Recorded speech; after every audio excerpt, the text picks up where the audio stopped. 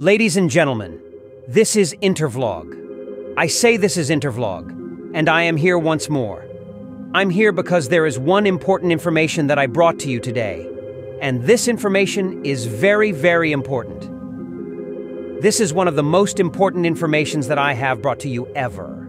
Therefore, listen very carefully.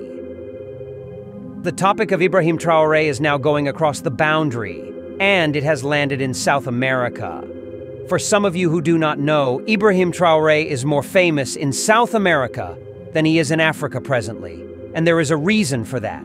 That reason that made Ibrahim Traore more popular in South America than he is in Africa is going to be revealed here, and you are going to believe it immediately when you see it. Now, Ibrahim Traore, since he came into power, there is one thing he has been doing that Africans never noticed because that is not what Africa is used to. But in South America, it is very, very meaningful. And you would ask me, what is that? That thing is a quote by Che Guevara. Whenever Ibrahim Traore makes an important speech, he ends it with a quote, which is, Homeland or we perish. He will speak it in French. This made Ibrahim Traore very, very popular in South America because every South American loved Che Guevara, and they have seen a young leader who is copying what Che Guevara did, and they are very happy about that. Now, but this is not the only reason I'm here. I'm here to let you know that the president of Nicaragua invited delegates from Burkina Faso for a visit, and this is not the first time they have been in Nicaragua. And this visit happened this month. Axe Ouagadougou Managua, Burkinabe personalities at the meeting of presidents of Nicaragua institutions. Managua, July 23, 2024. Present in Nicaragua as part of the commemoration of the 45th anniversary of the Sandinist Revolution, the Burkinabe delegation, led by the President of the Constitutional Council, Master Barthélemy Kéré, and Mrs. Stella Eldine Kabre Kabore, Minister Delegate in charge of regional cooperation, made visits to institutions of the Republic of Nicaragua. At the National Assembly of Nicaragua, the meeting with Mrs. Arlene Patricia Alonso Gomez, the first vice president of this institution, allowed the head of the Burkinabe delegation to salute the resistance of the Nicaraguan people in the face of imperialism and colonialism, and to express the willingness of Burkina Faso to draw inspiration from this example in the fight against and in the quest for its sovereignty. Also, the two personalities expressed their willingness to see the cooperation between the two parliaments strengthen in a short time. Among other things, the head of the Burkinabe delegation invited Nicaraguan parliamentarians to make a working visit to the country of men of integrity. At the Ministry of Foreign Relations of Nicaragua, exchanges with His Excellency Mr. Dennis Moncada Colindres, head of diplomacy of Nicaragua, focused on strengthening cooperation between the two countries. Regarding the working visit in the Supreme Electoral Council of Nicaragua, the delegation was received by Madam Brenda Rocha, Magistrate President of the Supreme Electoral Council in Nicaragua.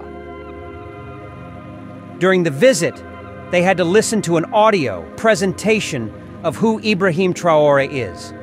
And that presentation, presented in Spanish, would will be translated in English, and you will hear it exactly how they had it in Nicaragua. When you hear this presentation, you will be marveled at whom Ibrahim Traore is to the public. This was televised nationwide. It was on national TV.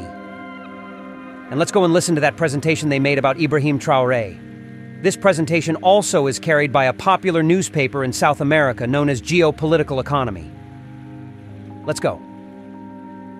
The new president of Burkina Faso, Ibrahim Traore, has vowed to fight imperialism and neocolonialism invoking his country's past revolutionary leader Thomas Sankara and quoting Che Guevara. The West African nation has also formed close diplomatic ties with the revolutionary governments in Nicaragua, Venezuela, Cuba, and Iran, as well as with NATO's arch-rival Russia. In January 2022, a group of nationalist military officers in Burkina Faso toppled the president, Roch Kabore, a wealthy banker who had fostered close ties with the country's former colonizer, France, where he was educated. the military officers declared a government run by what they call the Patriotic Movement for Safeguard and Restoration, MPSR, led by a new president, Paul Henri Sandaogo Damiba. They pledged to seek true independence from French hegemony, condemning the neo-colonial policies and economic, political, and military control that Paris still exercises over Francophone West Africa. Burkina Faso ended its decades-long military agreement with France, expelling the hundreds of French troops that had been in the country for years. The new president, Damiba, was initially popular, but support waned as he was unable to defeat the Salafi jihadist insurgents that have destabilized the country. In September 2022, discontent led to a subsequent coup in Burkina Faso, which brought to power another nationalist military leader named Ibrahim Traoré.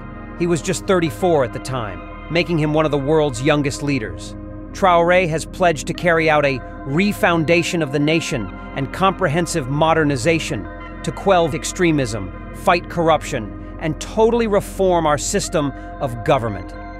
The charismatic Burkinabe leader frequently ends his speeches with the chant La patrie ou la mort, nous vaincrons, the French translation of the official motto of revolutionary Cuba, Patria o muerte, venceremos. Homeland or we perish. We will prevail. As president, Traoré has brought back some of the revolutionary ideas of Thomas Sankara. Sankara was a Marxist Burkinabe military officer and committed Pan-Africanist who ascended to power in a 1983 coup. Sankara launched a socialist revolution, transforming the impoverished country through land reform, infrastructure development, and expansive public health and literacy programs. Under Sankara's leadership, Burkina Faso also challenged French neocolonialism and pursued an anti-imperialist foreign policy, forming alliances with revolutionary struggles across the global south. These leftist policies were reversed in 1987, when Sankara was overthrown, led by his former ally, Blaise Compaoré, who subsequently moved hard to the right and allied with the United States and France, ruling through rigged elections until 2014. Today, Ibrahim Traoré is drawing heavily on the legacy of Sankara. He has made it clear that he wants West Africa and the continent as a whole to be free of Western neo-colonialism. The Russian government held a Russia-Africa summit in St. Petersburg. Traoré was the first African leader to arrive to the conference. There, he delivered a fiery anti-imperialist speech. We are the forgotten peoples of the world. And we are here now to talk about the future of our countries, about how things will be tomorrow in the world that we are seeking to build, and in which there will be no interference in our internal affairs, Traoré said. In his speech, the Burkinabe head of state also focused on sovereignty and the struggle against imperialism. Why does resource-rich Africa remain the poorest region of the world? We ask these questions and get no answers. However, we have the opportunity to build new relationships that will help us build a better future for Burkina Faso, the president said. African countries have suffered for decades from a form of colonialism and imperialism, which could be called a modern form of slavery, he stressed. However, a slave who does not fight for his freedom is not worthy of any indulgence the heads of African states should not behave like puppets in the hands of the imperialists. We must ensure that our countries are self-sufficient, including as regards food supplies, and can meet all of the needs of our peoples. Glory and respect to our peoples, victory to our peoples. Homeland or we perish. Traoré summed up quoting the words of legendary Cuban revolutionary leader Ernesto Che Guevara. The 35-year-old president of Burkina Faso was attired in a camouflage uniform and red beret during the summit. On July 29th, Traoré had a private meeting in St. Petersburg with Russian President Vladimir Putin. In their talks, the Burkinabe leader praised the Soviet Union for defeating Nazism in World War II. Now you have heard it, and you heard how they talk about Ibrahim Traoré, how he end his speech with venceremos, or la muerte, which is victory, or we all perish. And you have seen the reason they adore him. It is because Ibrahim Traore wants to copy there the ideology of Che Guevara, Fidel Castro, Putin, Hugo Chavez, and so on and so forth. And this made him popular in South America. Ibrahim Traore is being honored and adored across the world because of his good governors. He is the only president in Africa who is not moving with a convoy of many exotic vehicles. The only president in Africa who does not care about the type of vehicle he drives. If you check other president in Africa, you will see what I'm talking about. You will see president who will get into office, and within one month, he has approved Toyota Land Cruiser for him, for his four escort, for his wife, all his children, local government chairmen, governors, and lawmakers. Sometimes the number exceed up to 1,000 pieces, and they don't care. And when you ask them, they said that they need a good vehicle to do their work properly. And when you ask them, is this not mismanagement of public fund?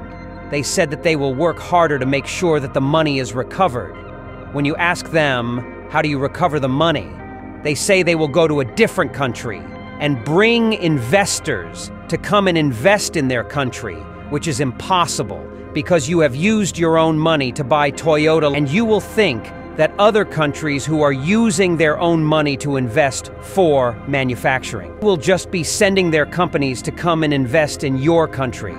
Don't you know that that Toyota Land Cruiser you have acquired 1,000 pieces or maybe 500 pieces, that each one of those Toyota Land Cruisers cost $200,000? Don't you know that $200,000 can build three factories? If you multiply three factories by the numbers of Toyota Land Cruisers you have acquired, you would not bother of going to another country to bring a company to establish factories in your country because you have already established it.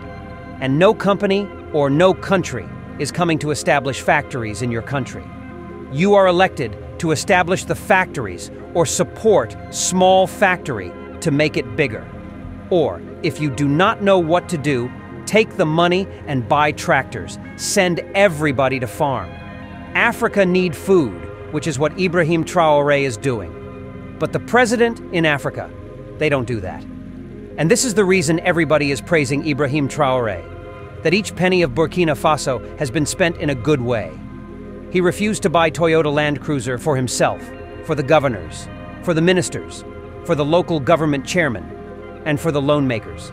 Instead, he used the money to buy tractors and to send Burkina Faso farmers to work. Two weeks ago, he bought vehicles for the hospitals. He gave them to the doctors to go and be treating patients around Burkina Faso. This is how a good leader thinks. And this is the reason Nicaragua likes Burkina Faso. This is the reason South America likes Burkina Faso. And this is the reason the world entirely adore him. Thank you very much for watching. If you have a president whom his plan is only to go and acquire 500 pieces, 300 pieces, or 1,000 pieces of Toyota and share it among the politicians, that president is not a good president. He is actually squandering our money. Each of that vehicles they're driving cost $200,000 US dollars. Let them use it and create factories. Let them use it and support industries. Let them use it and buy tractors and send everybody to farm. $200,000 is not a small amount of money. That is the money that could build three big factory. If you multiply it by the numbers they are buying, that is the amount they are squandering. Thank you very much for watching. This is Intervlog, and take note about this.